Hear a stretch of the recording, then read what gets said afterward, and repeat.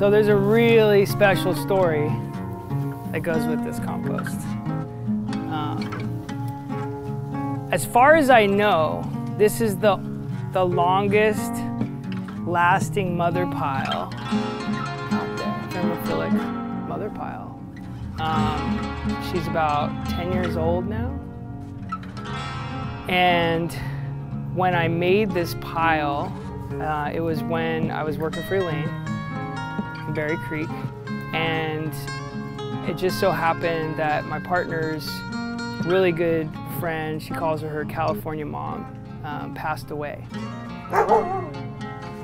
And we decided that we wanted to do something really special for her. She was an avid gardener and, uh, you know, was just a really sweet soul. And so we talked to the husband and said, hey, what if, you know, we did this honoring for your wife and we, at the reception, you know, after the, after the funeral, we, at the meal, tell everybody that this meal and all the scraps from the meal are going to go into this compost that we're going to build.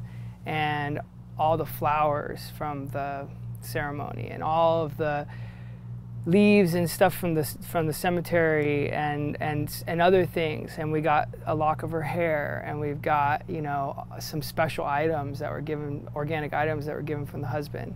And um, and we collected materials for about a week before we made the pile.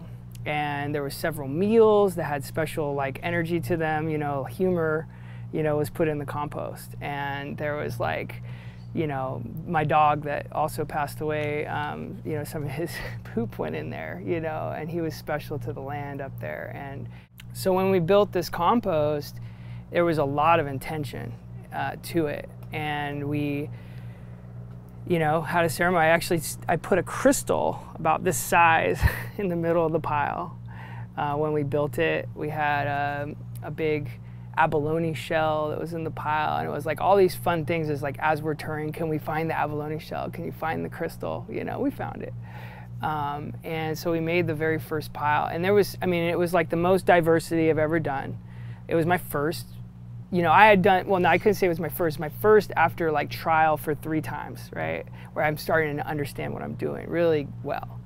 And i've been taking all of Elaine's classes and you know starting to really understand. And so I started collecting all these diverse materials and made this pile. It was amazing. Got the temperature at the right days, kept the temperature where it's supposed to. And so this has been the mother pile. So every pile that's ever been created since then has had some of the mother pile put back into it. And everything that I've done has had this in it.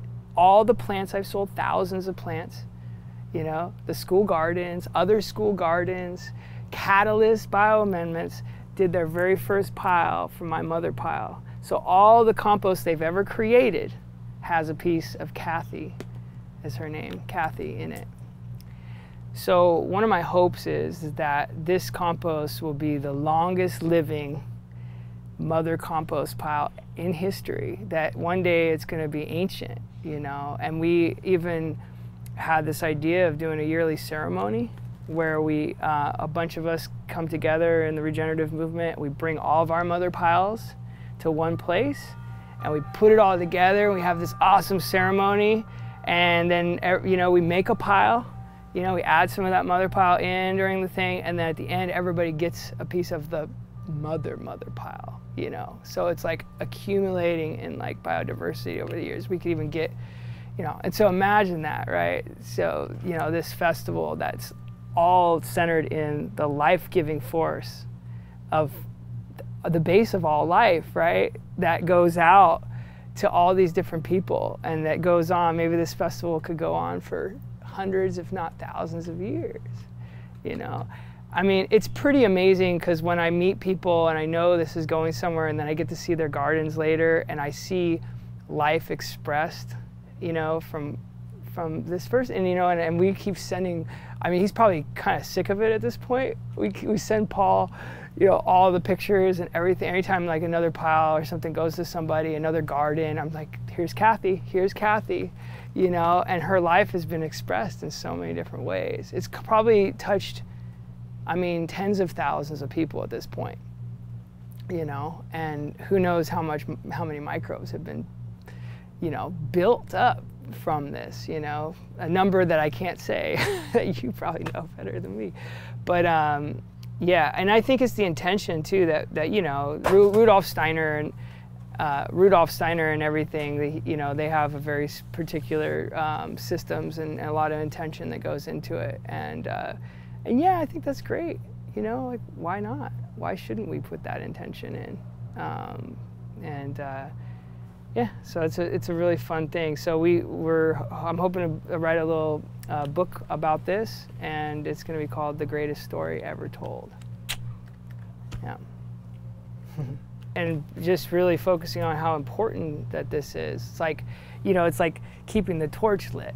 Yeah. You know, you got to keep the torch lit. You know, I I mean I'm really like I I feel incredible amount of guilt like if I'm ever like out and, and I know that the pile is, might get a little dry, I'm like, oh my God, I gotta go back and water the compost.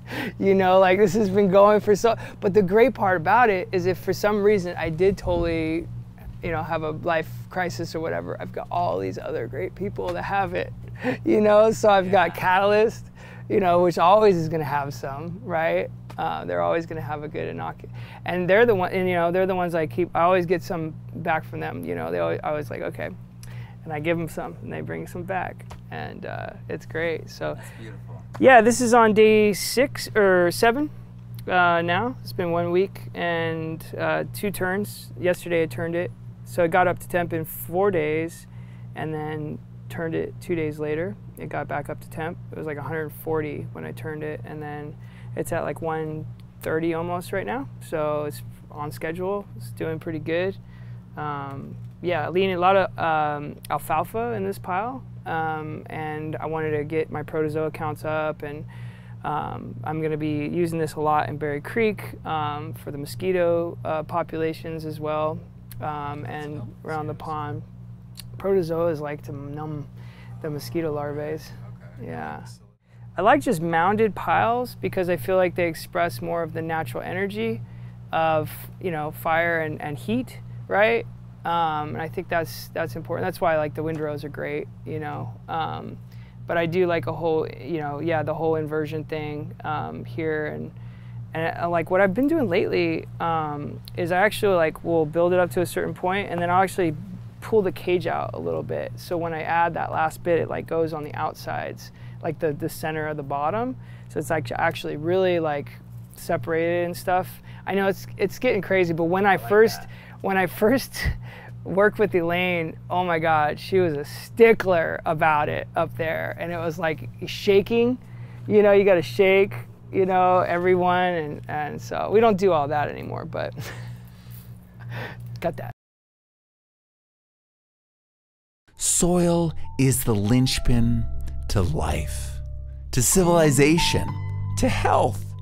If we want a healthy future, to fight environmental collapse, to live regeneratively and ethically, and to experience a life of abundance and freedom. We want healthy and abundant soil everywhere. But that means we need to relearn old ways and learn some new ways to build, cycle, and partner with soil and soil life. We can change the world radically. But it's up to us. We have to make those choices. We have to partner with soil and soil life. It takes our participation and support. Will you join us? Regenerative Soil, the full program, we're going to dive deep. We're going to be looking commercial, we're going to be looking DIY, we're going to be going garden, we're going to be going farm scale.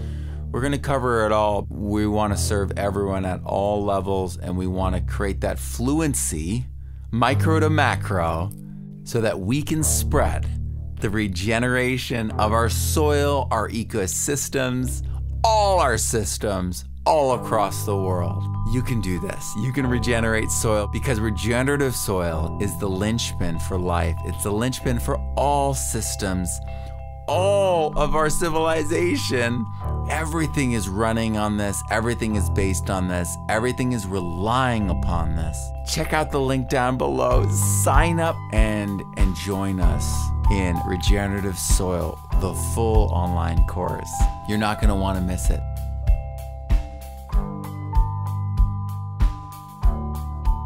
I'm Matt Powers. Grow abundantly, learn daily, and live regeneratively.